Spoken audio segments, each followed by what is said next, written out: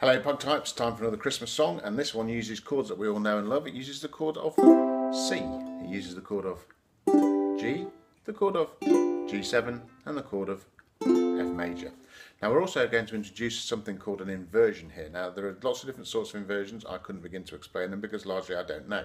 But really it's about mixing up the notes in the chord to make the chord sound that little bit different.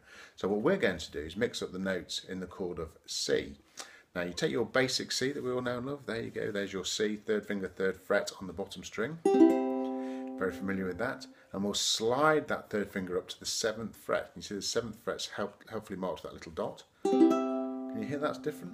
That top note, higher now, third fret to seventh fret. Still the same chord of C, but with the notes mixed up it sounds different and maybe you can tell that we're going to play Silent Night. So I will uh, play along, uh, give you some indications to what the chord changes are as we go, um, sing the first couple of words so you know where the words would start and we'll go from there.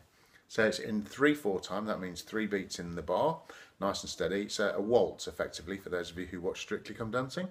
Um, and here we are, starts on C. Nice steady beat, four bars to start.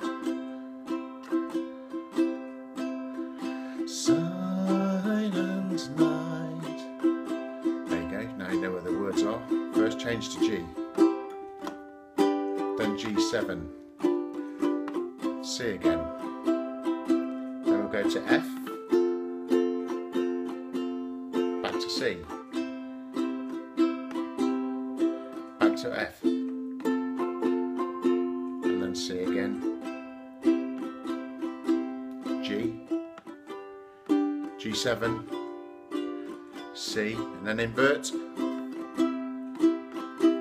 back to C, G, C. And hopefully you can work out from that that that is Silent Night and uh, enjoy.